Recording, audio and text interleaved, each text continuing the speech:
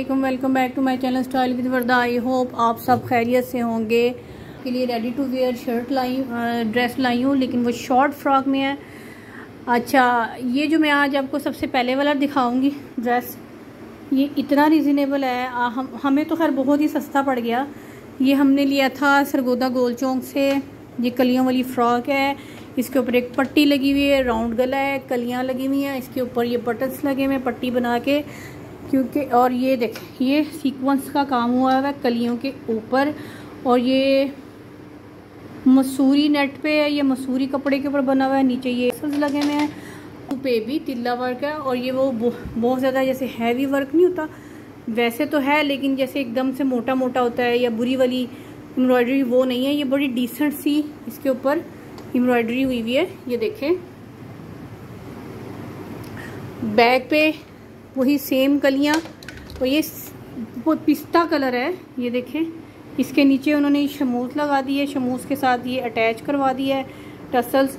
और, अब मैं आपको इसकी प्राइस बताऊँगी। इसकी प्राइस जस्ट मुझे ये अठारह सौ पचास रुपये में सेल में मिला था। और, इस तरह का एक ट्राउज़र इस कलर में मैं अभी आपको दिखाती हूँ। वो हम तीनों बहनों ने एक जैसे तीनों ने अपने अपने अलग एक बनवाए हुए हैं। गोल्डन सिल्वर ब्लैक फैंसी जो फैंसी होते हैं उसमें हमने ये बना के रखे हुए हैं। तो ये है वो ट्राउज़र डल गोल्ड है गोल्ड है इसके अंदर एम्ब्रॉयडरी हुई हुई है। ये हमने कैपरियाँ बनवा के आ, रखी हुई हैं। पैंट पजामा टाइप जो होती हैं ये देखें। तो ये हमारे कितने सारे सूटों के साथ चल रहे हैं और ये मेरी अम्मी का दुपट्टा है जो सूट के साथ चल गया।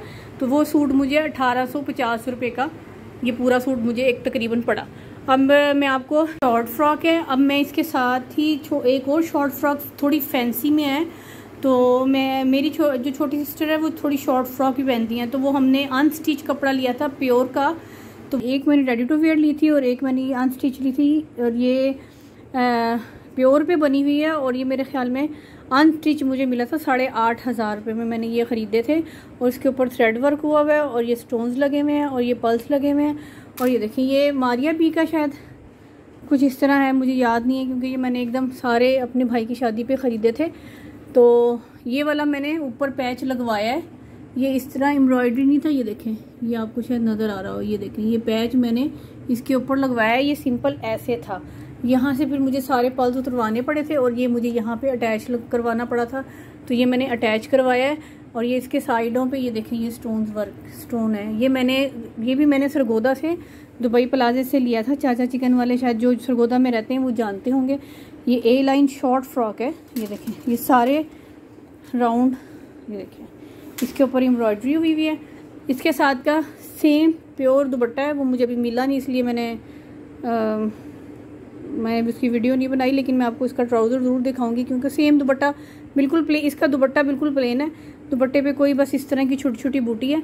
बाकी ये इसके स्लीव्स हैं और स्लीव्स के आगे मैंने कट वर्क नहीं करवाया, क्योंकि वो ये जगह, ये देखिए यहाँ से मुड़ना शुरू हो गई थी तो मैंने वो नहीं करवाया। अच्छा इसके बैग के ऊपर भी ये वाला देखें, पूरी बैग पे ये काम है। और मुझे लगता है ये ज़्यादा रीज़नेबल रह जाते हैं। अनस्टिच का, कभी आपको साइज़ का स्टिच का ही होता है कि कोई साइज़ का इशू होता है या वो छिज जाते हैं या कुछ इस तरह मसला हो जाता है। मैं तो अनस्टिच लेके ही ज़्यादा खुश होती हूँ। तो मुझे अक्सर मेरा तो ये नाप का इशू हो जाता है। अच्छा इसका ट्राउज़र मैं आपको दिखाती हूँ, वो सिल्क पे है। ये जी इसका ट्राउज़र है। कैपरी बनवाई, इसके ऊपर ये वाला पैच लगा हुआ था। ये बहुत, यानी कि मैंने छोटी सी लगवाई है। चारों तरफ़ से ये मैंने पैच अटैच करवाया है। ये रॉस, ये ग्रिप की शलवार है। ग्रिप के ट्राउज़र के ऊपर ये मैंने लगवाई है। तो साथ ही उन्होंने दिया था, खुद ही उन्होंने डाई करवा के दिया था। आई होप आपको मेरी आज की वीडियो अच्छी लगी हो। प्लीज़ लाइक करें शेयर करें सब्सक्राइब करें। अपनी दुआओं में मुझे याद रखिएगा। अल्लाह हाफिज़।